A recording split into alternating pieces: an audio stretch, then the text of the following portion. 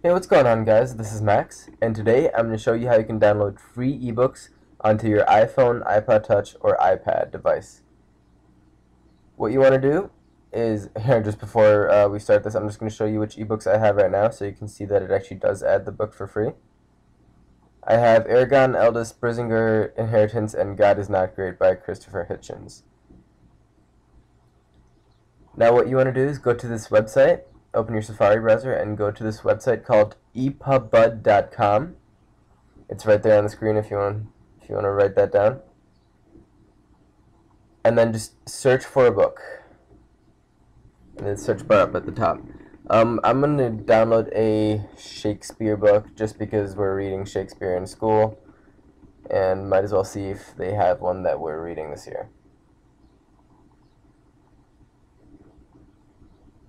Alright, let's see what they have. Um, Alright, Midsummer Night's Dream. I actually, I read this, but I think we might be rereading it soon, so let's just download this. Anyways, um, click on the download ebook on the right, the big yellow box.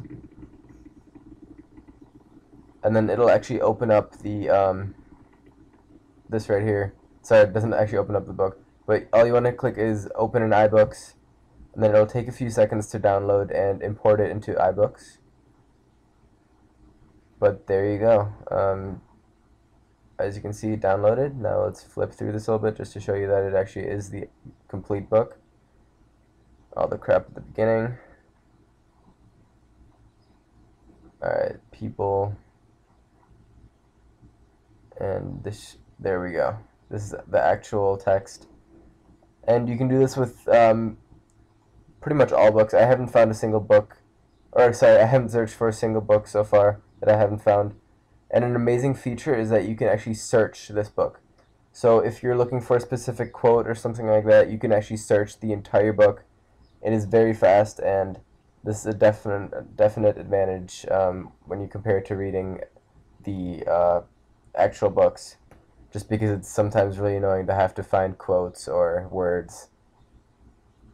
But yeah, I hope you guys enjoyed this video, and if you did, please subscribe and give me a like rating. Alright, see ya.